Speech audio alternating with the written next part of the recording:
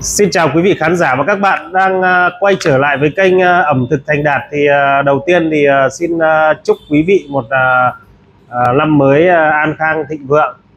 Chúc các bạn quay nướng trên cả nước một năm mới là buôn may bán đắt gặt hái nhiều thành công. Thì Ờ, hôm nay là cái video sản phẩm đầu năm thì mình ờ, cũng qua quá trình một năm khi ờ, phấn đấu đưa cái sản phẩm gia vị à, vịt quay lạng sơn của nhà mình à, đưa ra thị trường.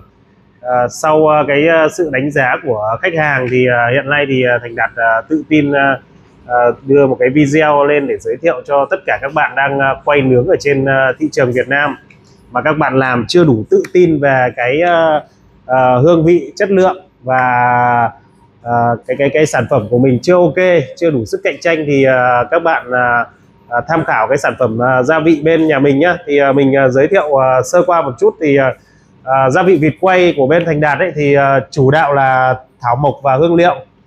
À, trong cái à, thảo mộc này thì à, à, sẽ kết hợp à, à, để giúp cho khi chúng ta quay con vịt lên ấy thì sẽ à, khử được mùi tanh của con vịt này à, giảm được mùi hôi và tăng cái độ ngọt à, hậu vị kéo uh, làm dai uh, giòn cái uh, miếng thịt vịt.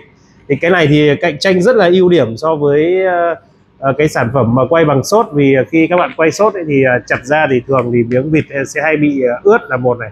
Thứ hai là cái uh, bảo quản nó sẽ không được tốt thì uh, hay bị bở vịt. Đấy.